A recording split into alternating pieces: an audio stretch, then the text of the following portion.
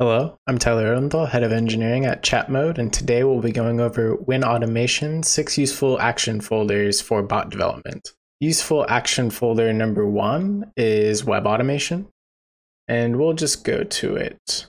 So why web automation is useful is because you can automate any of the processes that you would normally do as a user inside of a browser. Uh, this ranges from opening up a Chrome browser, opening up a Firefox browser, um, creating new tabs, visiting web pages, downloading links, um, even hovering over elements. Uh, you can populate web forms via text field or checkboxes, drop down lists, etc.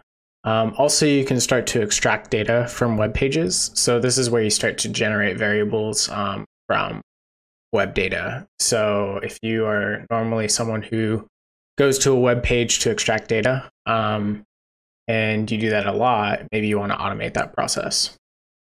Useful folder number two would be the variables action folder.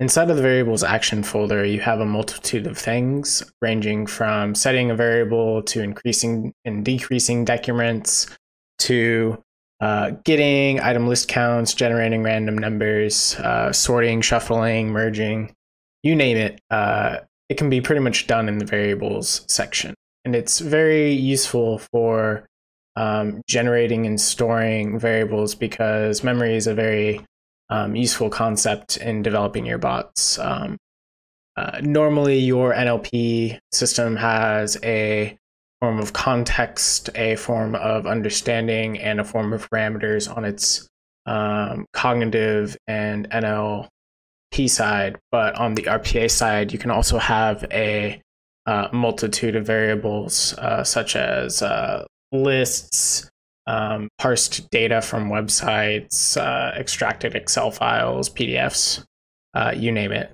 That that could be stored here. Third on our list of most important folders would be the conditionals folder. Inside the conditionals folder, you have our normal if, else, switch statements, case statements, essentially anything that goes into a normal conditional statement uh, where you can have logic built in. Uh, but you also notice uh, you have specific ones like if folder exists, if file exists, uh, if window exists. So if a window is open, if a window is open and contains, uh, if a window is open and a page contains, uh, you get where I'm going. Essentially, you can uh, parameterize even web pages and elements on those web pages to be conditional statements. So having that type of logical knowledge inside of your uh, bot would be exceptionally handy, and it very much is. Uh, you can also see OCR if text is on screen. So uh, we're leading into giving your bot vision. Folder number four would be the OCR folder, and OCR full, uh, stands for Optical Character Recognition. And here's where you construct your optical character recognition engines. Uh, you have the option of a Tesseract model or a MODI uh, OCR engine. Tesseract's uh, ran by Google. MODI, I believe, is ran by Microsoft. Um, both of them are good. Uh, I've only personally been able to spin up a Tesseract engine. Um, it's pretty easy to spin one up. You essentially just establish an Im- image width and image height multiplier, and it's good to go. Uh, MODI, I believe you need to have some form of credential. Um, so I haven't really taken the time to figure that out. Um, but with this, you can start to extract um, text and characters from files uh, or PDF. Um, you can even use the OCR on web pages, so it's very handy for extracting um, text numbers and or characters from uh, images, whereas uh, element extraction or uh, feature extraction via web automation or UI automation might not be uh, as useful. Number five on our list would be the text actions folder.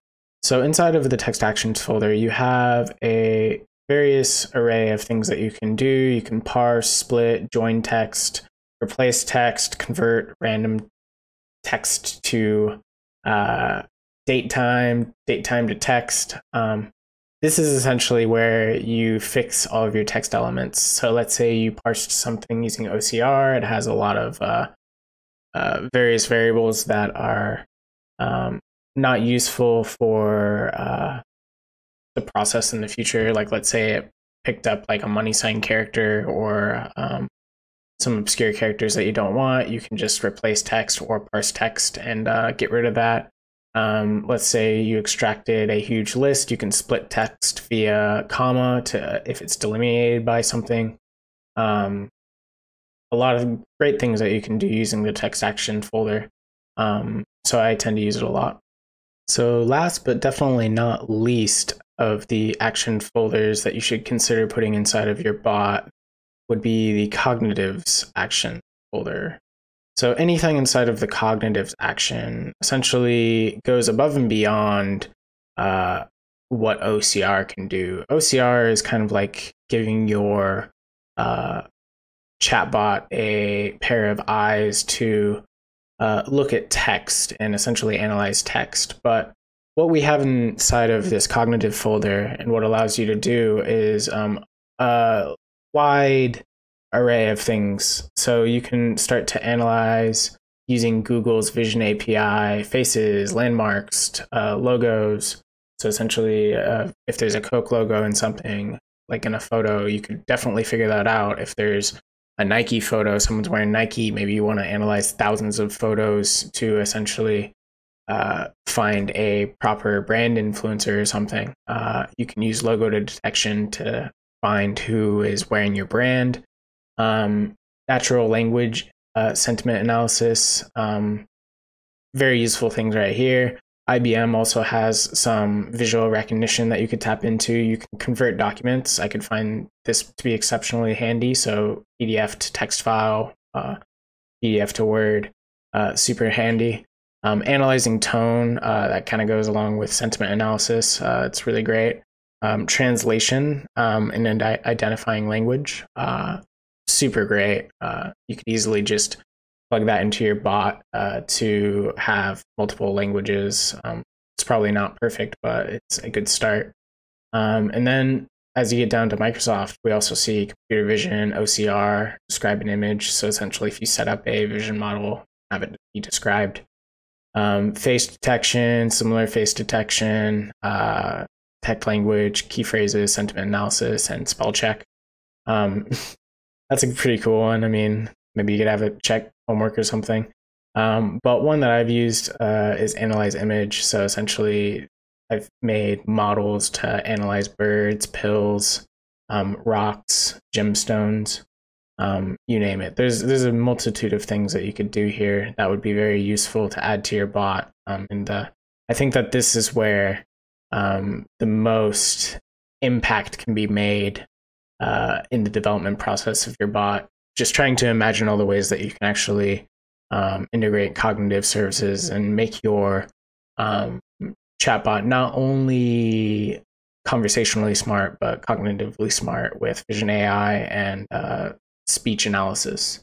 So this is kind of the next stage of bots. Um, I don't think a lot of people are here yet, but it's really cool to see that um, these features are being uh, presented and easily accessible um, in the WinAutomation platform. So thanks for watching and uh, see you next time.